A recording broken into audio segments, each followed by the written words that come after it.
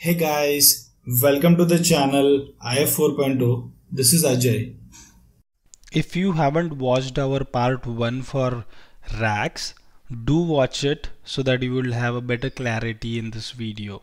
So this is our part 2 in understanding rack properties. So let's begin from slot assignment strategy. Things before this we have already covered in part 1. So the slot assignment strategies are basically used to assign the slots based on certain logics you can create or you can assign it based on the options you are available. So random bay level and slot, random bay level and slot with space, first slot with space. So if you drag the rack from the object properties, the initial default setting will be first slot with space which so this is basically first available basis then we have matching label basis then we have by bay level slot rank. So this is basically based on the rank of the bay level or slot and this is based on the id so if you click here on id so you need to enter the id here. You need to enter level id here and slot id then whatever part is going to come there it will first check what bay id it needs to go level id it needs to go and slot id and based on that it will be sent it to that. If you select rank wise you need to put the conditions here for their rank wise and then the part will be assigned to it. And then we have based on matching labels. So you can assign labels to each of the slot. Say this slot is for type 1 this slot is for type 2 this slot is for type 3 so this condition will check what is the item type and based on that the item will be assigned to the respective slot type. So this is for matching labels. We will do one of the assignment on this for understanding this more detail but currently we will go ahead by understanding the high level possibilities we do have in this. So we'll keep it first slot with space availability basis. Then we have slot stacking order. So this slot stacking order is basically uh, with respect to a single slot.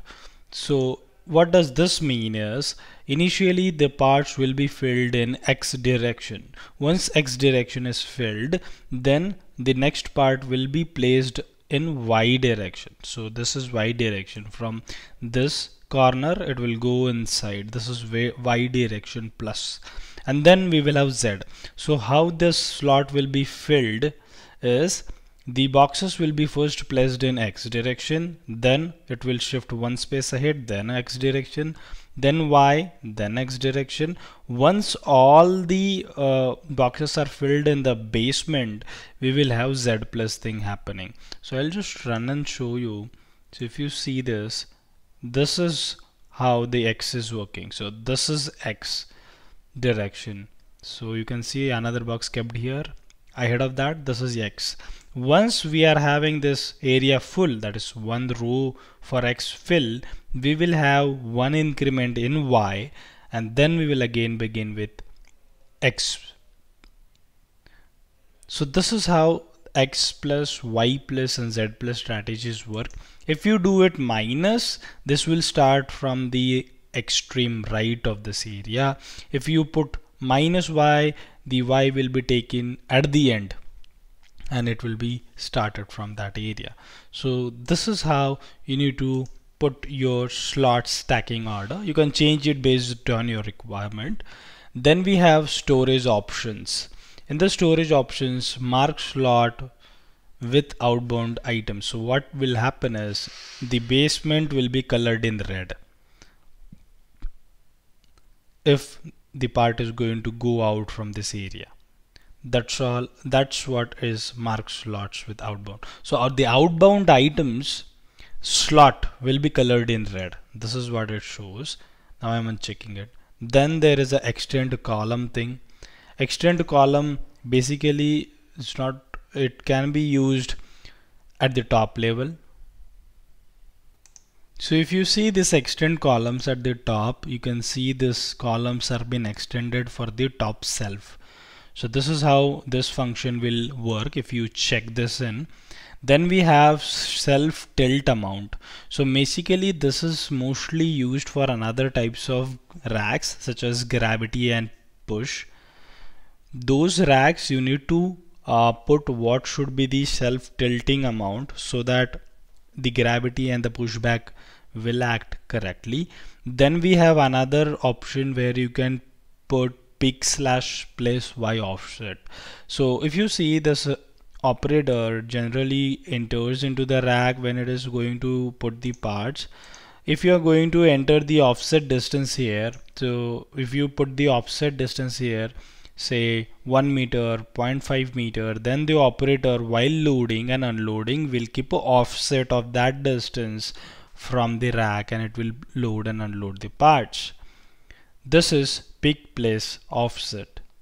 So you can see when I am changing this pick place offset value to 1 you can see what is the distance between the operator and the rack when it is loading and unloading. So you can see it is unloading by going near the rack. Now when I'm changing this uh, offset value to 5 you can see the operator puts or drops the box at a distance of 5 meter from the rack.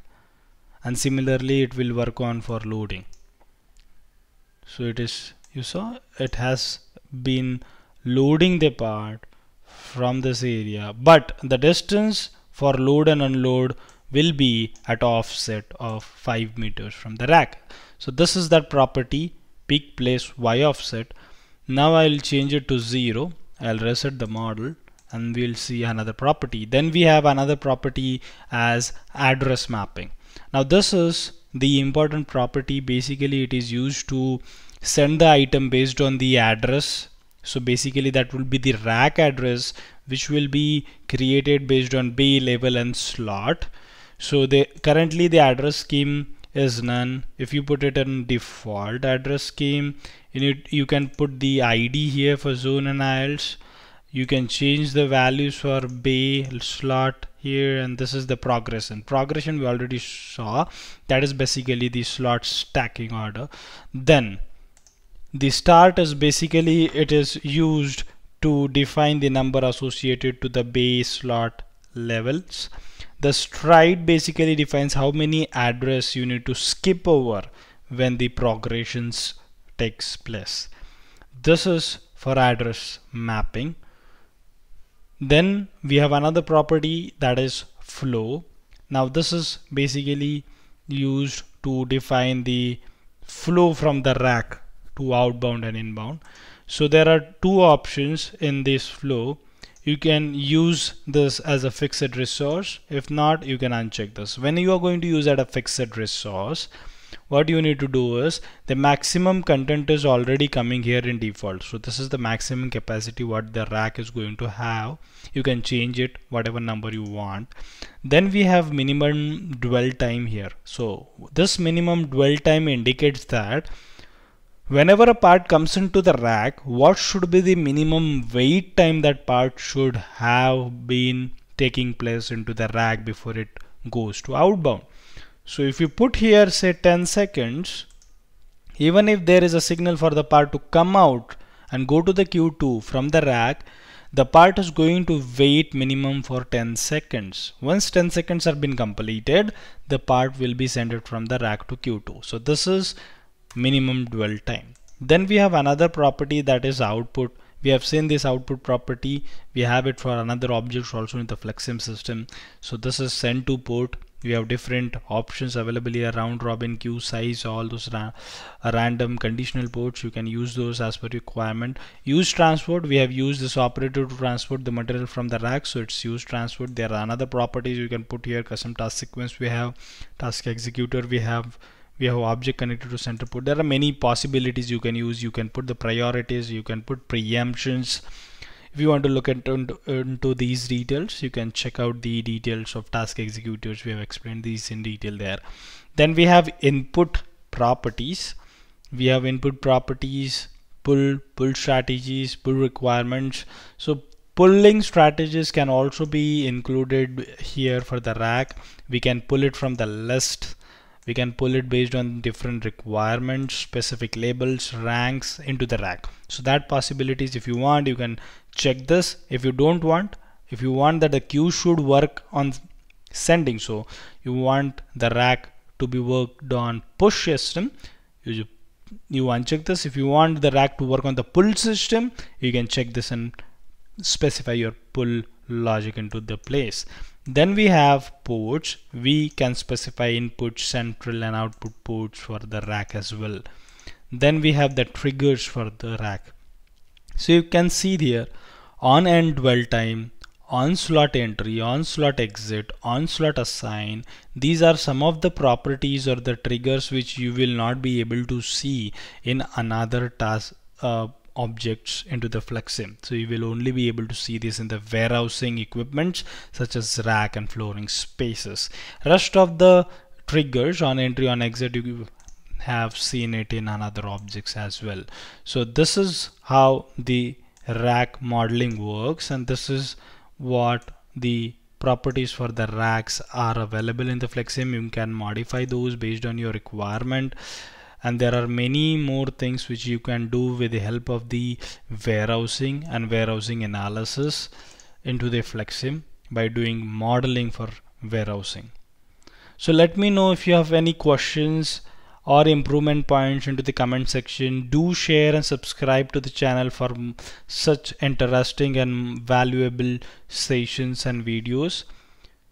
Till then take care enjoy learning enjoy simulating. We'll meet into the new interesting video coming up. Thank you